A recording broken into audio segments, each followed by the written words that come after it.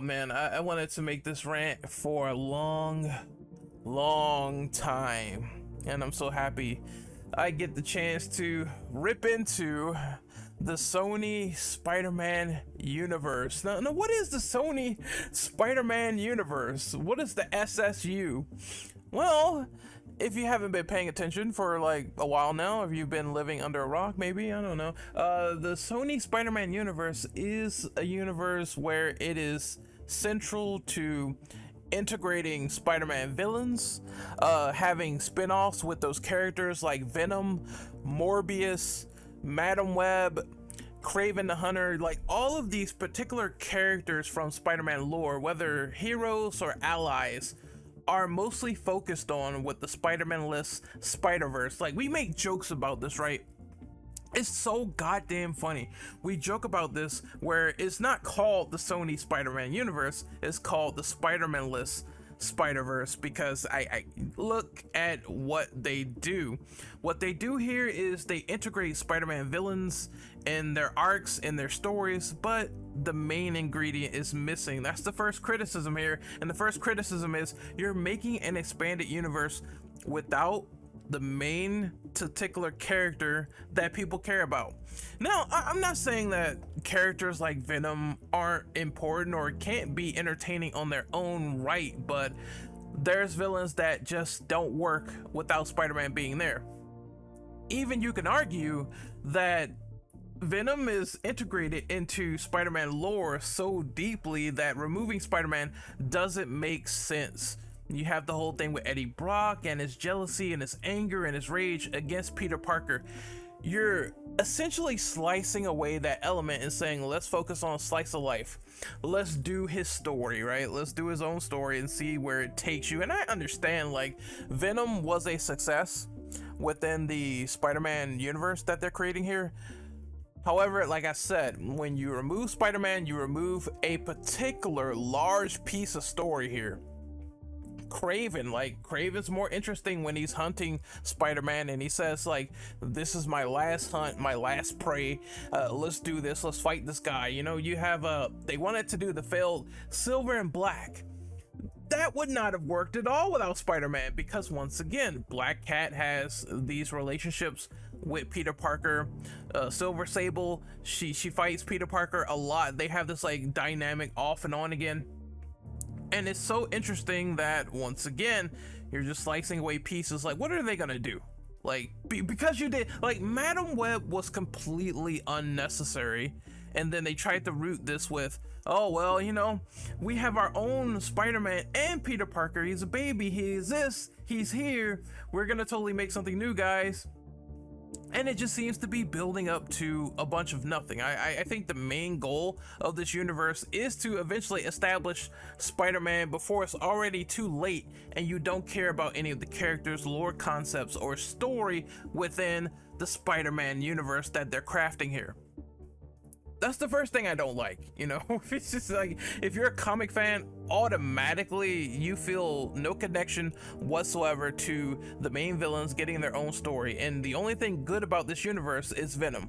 That's it. That's the only good thing they ever fucking crafted and they ever made successful. And even to this day, I don't know how. I, I don't know how the first Venom was so well received. Like, I watched the movie and it wasn't really that bad, but in terms of like it blowing up the way that it did, I don't understand. Again, I guess it's all 100% uh, just focused on Venom's popularity, but they tried to spin something off of that, and it still didn't work out too well. And in Venom: The Last Dance, you got a symbiote horse, where it's like I, I thought if the symbiote bonds with someone and interconnects with someone, it, it's an official legit bond and if it's not, it kills the host. So what what is this with the horse? Like I don't fucking oh my let, let me not start there, okay? Uh my second point is the constant meddling with the MCU timeline. We already saw we we saw this. They removed the scene too. Sony and your bullshit. You removed the scene too where it's like they tried to introduce Adrian Toomes, aka the Vulture from you know MCU, Michael Keaton, at the end of Morbius, and this was heavily ostracized. Like everyone was like, "What are you doing here? And why do you still hate Spider-Man even though you're really not supposed to because I mean if you think about it and I know some people might put in oh no way home you know the the mind like sweeper thing that happened where people's minds got erased and they don't remember Peter Parker anymore all that stuff. It's like well Spider-Man still saved Toomes' daughter so he would kind of still be indebted to him right for doing that when he did that at the Capitol I, I I don't understand. Like, and and now he just all of a sudden hates Spider-Man. He's looking for him. He's trying to kill him. You're not only breaking the story of your own universe, you're also doing it for another universe where it doesn't make sense. Again, the main reason behind this, in my honest opinion, maybe I'm putting on my tenfold hat here, but they're doing this because they have the film rights to Spider-Man and obviously Disney wants a piece of that pie. They're they're in this deal together where they can make MCU Spider-Man movies and everyone profits, but Amy Pascal and her bullshit, she wants more and more and more. And Kevin Feige's like just in this weird sort of intertwined relationship where he doesn't really like this or appreciate it. I'm pretty sure feedback is given once again to these movies where they remove this scene, this post-credit scene of Adrian Toomes in Morbius because it simply didn't make any fucking sense. Sony wants to bake off the MCU and they want to get some sort of traction from that because of their relationship with the joint custody of Spider-Man and, and how they coordinate that and it leads to some bizarre crossovers. Really, I, I know we saw Eddie Brock show up for like five seconds at the end of No Way Home uh, from the Sony Spider-Man universe, and I was like, why? You know, I love Tom Hardy, and I think he's great, but it's like, why do this? Why do all this meddling? Why is this guy there? Then he got blipped out in like five seconds. You would think the fascinating thing is leaving the symbiote behind in the MCU and that's like okay oh shit that's that's cool that's what i want to see. And then all of a sudden you have venom the last dance where not mordo is taking a symbiote vial on the same table and extracting it. And i'm like it's the same bartender it's literally the same place. What the fuck is going on? If that's not mcu meddling I don't know what is. I know at the end of one of the Venom movies or whatever, he sees fucking Tom Holland Spider Man, and I'm like, oh my god, it's like they want to integrate this in so bad because they, it's like Amy Pascal just wants to lodge her loins and roots, her loins and her roots into the Spider-Man character, into Kevin Feige, into the MCU, and it doesn't make much logical sense. And I, I know somebody retracted these notions when that post-credit scene of Morbius was removed with Adrian Toomes. They're like, what the fuck is this shit? So because of this joint custody of Spider-Man, they believe they could do whatever they want to the point where it seems like some veiled strong arming where it's like if we decide to put this very inconsistent and dumb plot point into our movies it'll be generally accepted because we're making money together kevin we're making cash together and i, I just hate this logic I, I dislike amy pascal with all of my loathing and my heart. Uh, I, I don't think she is a good creative for Sony and Spider-Man in general. Uh, her statement back in the past about uh, going to Sam Raimi and saying, "Look, you're done with Spider-Man 4. This is done." And Sam Raimi like called her out and said, "I know you guys are making like a Spider-Man reboot. I know you're making the Amazing Spider-Man. I'm out. Fuck this, right?" I, I never liked her from the beginning. So she's a bad creative for other creators, and it showed because she was willing to override Sam Raimi and say, fuck this, I'm doing my own thing. We're doing our own Spider Man. We don't need you anymore. Goodbye. You, you see what I'm saying? This is a terrible verse with terrible people behind it for terrible content creation. All right? That's one thing I don't like about the Spider Man Less Spider Verse. All right? The idea the constant meddling of the MCU, you know Kraven is gonna try some shenanigans here or there. If Morbius did it, if other movies did it, it's gonna happen and they're just gonna retcon it out because that's what they do over there at Marvel Studios. They're like, no, it's done. We're, we're not integrating this. Take your money with another Spider Man 4 movie. We don't care. Then Another thing I don't like is that they teased their own Spider-Man and they teased the Insomniac Spider-Man on the wall when we saw some of the Morbius like stills and in the trailers and everything. Uh, they said Spider-Man was a murderer. And I don't know what that implication means.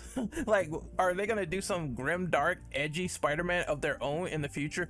They're teasing and trying to lead to something that's already gonna be too late by the time it happens. What do I mean by that?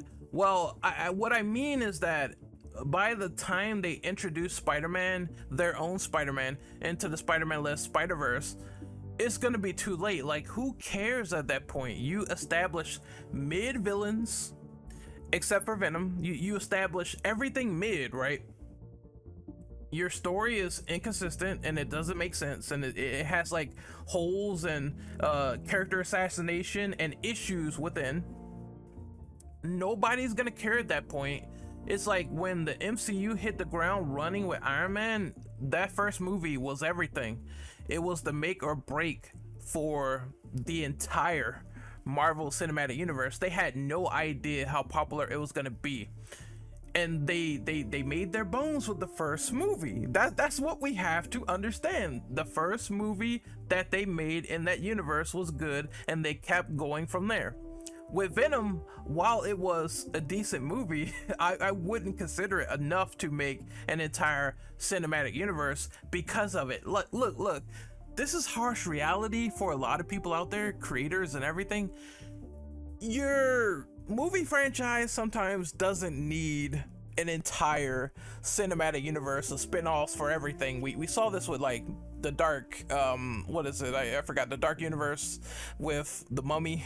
They tried to do the mummy wolfman and all this other shit. That was like dracula. I was like no no no. It didn't work out because the first movie just didn't have enough gusto to lead into those implications of other characters. When it's done right it's done well but when it's done like this where it's like you simply have clocked out the the casuals even aren't really attuned into everything else outside of Venom. Because if they were, then Madame Web would have done so well. It would have done so well to the point where your castmates wouldn't stop hating on it, right? I'm convinced that Sony tricked Dakota Johnson into joining Madame Web because she thought she was going to be joining the MCU. Because Dakota Johnson was trying to warn us how bad this movie really was in every single interview she was doing for this press tour. I mean, the biggest sign is the fact that you knew the movie was going to be bad when she left her talent agency one week after the first trailer came out. Come to think of it, she was more in character outside of the costume than inside of the costume. Dakota Johnson deserves a goddamn salute, but she still stuck true to her contract and did every single press and interview for this movie. But she was really in that bitch like, take this clip for example. Madame Web in the Marvel Universe, and it also stars Sydney Sweeney. So it's kind of like if AI generated your boyfriend's perfect movie. I mean, to be honest, that's an insult to AI. You might have seen me in Anyone But You or Euphoria. You definitely did not see me in Madame Web. It's just like the movie was a disaster, and so was like Morbius in a way, to an extent, where the only thing remembered was a meme. It's Morbing time. That's it, right? That that's the crux of your movie. A meme is remembered, and that's it. For something the main character doesn't even say, a total waste of talent. Have sex, excel, excel. Put my hands against, put my best a best, put my ten a ten, or put my spend a spend. Have size, excel. Cash show. Fulla fala fulla fa. Betting and it tandi best show. Fulla fala fulla fa. Tandin tashi tandi hair show. Fulla fala fulla fa. I funi kati funi cash show. Mm. Excel. Put my hands against. Put my best a best, put my ten a ten, or put my spend a spend. My. Put my best a best, put my ten a ten, or put my spend a spend. Have size, excel. I forgot about the half sex song in Morbius. It's a total waste of Matt Smith too, by the way. The? The way he does the fucking, oh god, I'm the big man on campus with the terrible CGI on my face.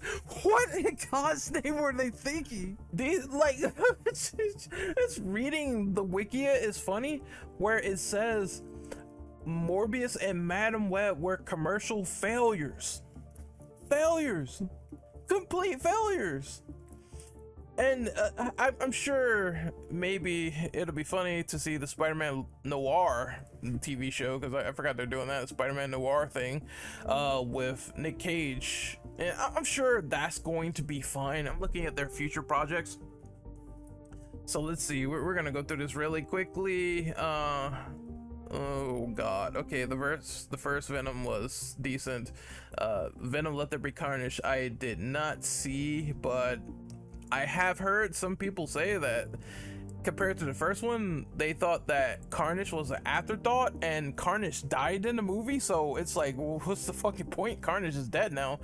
Uh, Morbius I saw in that movie was mid as hell. I have not seen Madame Web, but I saw it torn apart by almost everyone on the cast, fans, and everything. That movie seems to be hot garbage. And then there's Venom the Last Dance. I'm sure it's gonna do well. I'm sure, but again, it's gonna be a big nothing burger. It's gonna be a nothing burger upon epic proportions. Kraven as well. I think that's gonna be a nothing burger. other films in development okay. Uh, there was silver and black which was silver sable and black cat together in a team up movie where it's like these characters are so integral to spider-man and his relationships with them so far especially felicia hardy that i'm just wondering why did they decide to do this in the first place Silk getting her own movie. Now I love Cindy Moon. I, I think Cindy Moon is great. I think she's going to be great in other media as well. Before I almost spoil it, it's just like other media as well. Uh, she's going to be very great in there. I, I, guess we could talk like she's going to be in uh, Insomniac Spider-Man 3 is going to be a no-brainer because I mean the ending kind of teased it for Spider-Man 2 anyway. So I, I guess everyone knows that by now she's gonna be great there but in this standalone series i don't i don't know. It kind of sucked that something gets canceled and we don't see the after effect but I, I, I still think that these are all characters integral to spider-man getting their own series and uh, it's cool that Nicolas Cage is going to be Noir Spider-Man. I guess, I guess they they saw like, hey, we we had across the Spider-Verse, into the Spider-Verse, and uh, Nick Cage is Noir Spider-Man. That was kind of cool, cool little thing. If done right, and it has Steve Lightfoot, it could be done well. But that's the only hope that I have for this universe. I don't think the interconnectivity to delivering their own Spider-Man is going to be fantastic, but it's something that obviously they want to do. And they were bullheaded enough to oust Sam Raimi out the door. Now, what I would do personally is I would cash in on nostalgia. I, I know that it's an underhanded tactic, but let me explain. After No Way Home boomed up, everyone was reinvigorated and reinterested into Tobey Maguire and Andrew Garfield. Why not bring back the rodeo one more time? Why not make a Spider-Man 4? Why not make an amazing Spider-Man 3 just one more time? Those movies would make billions of dollars. Like literally the fucking headlines will say, "Hey, if you want to make the most money and maximize on the most profit, just make Spider-Man 4." And bring back Sam Raimi. I'm sure everyone will fucking bust a nut. They will come into space if they saw that fucking revelation, right? If the MCU is not carrying on with those stories and they got blipped back to their own respective universes and you guys own the film rights for Raimi Spider-Man and the Amazing Spider-Man, why not do this one more time? You could put both of them in the same movie and say, hey, we got the, you know the streams crossed all right? Uh Tobey and andrew the streams crossed and we're in the same universe. How do we get out? And that's the movie. Uh, the amazing spider-man 4 i don't know. Just just make some crossover or whatever and i'm, I'm sure people would watch it. It's it's a no-brainer if you want to make money. Then they want to do this El Muerto movie. After Bad Bunny left, El Muerto, the most D-list Spider-Man villain you will ever see under the fucking sun. He is like steroided Bane Rey Mysterio, okay? Nobody wants to see this dude. Nobody wants to see this movie. And you're making a Daily Bugle spinoff? Is, is this true?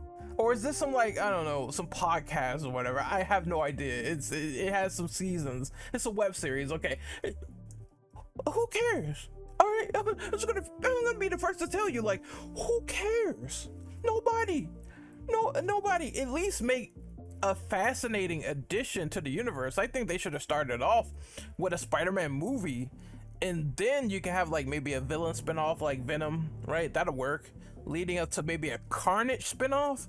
I don't think killing him was the best solution because you could milk that character and you have like multiple symbiotes, no problem. It makes the most sense. Like, why not do it that way? And then have Spider Man culminate into fighting these people, and that's your big crossover movie. Like, everyone, everyone wants to emulate Marvel with the MCU but they don't really understand the makings and the bones of creating a decent skeleton for a franchise first and get people invested first.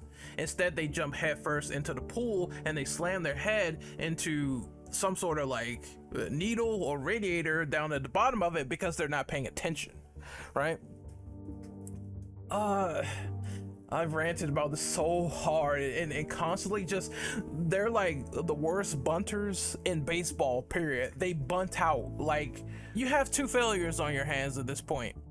I think it's best to stick to what you know. What you know works in terms of a quality perspective, which means that you just harken all the way back to your animated movies and your animated Spider-Mans and your Miles Morales stories, and you stick to those people like Into the Spider Verse, people like Across the Spider Verse. I'm sure Beyond the Spider Verse is going to be a fascinating movie.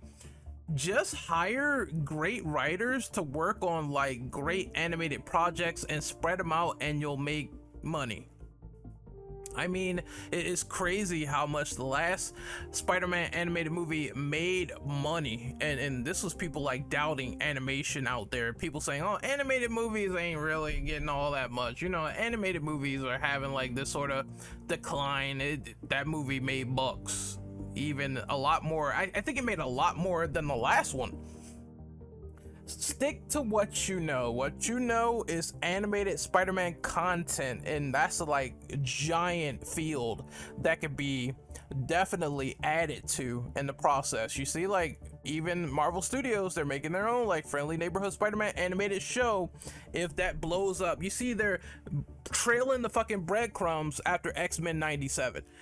We saw the the animated Spider-Man in that fucking show. You know they're gonna do an animated throwback Spider-Man show to the 90s Spider-Man and they're gonna add him in and they're gonna get the original voice actor. You know they're gonna capitalize and there's gonna be so many people that tune into that shit because like I said before, nostalgia is a bitch. Nostalgia is a hell of a drug. And guess what? Marvel Studios is already kind of capitalizing on your nostalgia with the successful X Men 97 and soon to be the successful Spider Man revival coming back into fruition. Sony, hop on that immediately. Get on that animated train, do something with it, but continue to make uh, shit of that nature that is creative and and just emotionally resonant to the people. That's all you have to do. Stop bunting out to mid movies. It's not working out. And if you want it to work out, the main thing you should have stuck to is Venom and, and building a Venom verse. I, I think that would have been a lot more cooler to a premise to build up to your Spider-Man, your your your unknown Spider-Man who's a baby. Like, like, these weird inconsistencies with Madame Web. You, are building up to your Spider-Man. You build up to him. I hope you don't fucking say that he's Tom Holland. Please, for the love of God, I'm gonna put like a bullet in my head if they did. Like, don't say that, please, God, no, no. Don't say that. Yeah, he was young enough to be Tom Holland's MCU Spider-Man. You want me to jump off a web and deuce cliff? That's what you want? motherfucker like goddamn all right i'm ending this video I, I in conclusion i'm just not the biggest fan of the spider-man less spider-verse i think at best this is a franchise that is equivalent to the DCEU, where they try to take like a premise that is kind of cool at first and it just fizzles out like a nuclear bomb hitting a radiation shelter. Please shelve it or stick to what you know. That is great. You got good creative heading this. Like, I, I don't understand that as well. Like, the Into the Spider Verse people and, and the main guys, Phil Lord, Miller, they're heading this. Why not use their talents for something more creative than this? Like, it, it, boggles my mind. Like, they should be calling the shots and they should get creative freedom over the movies as well. All right, that, that's what that's what I feel. Put people in the right place and you'll get the right product. I'm Renegade Operative. I'm signing out. this universe sucks. I'll see you later.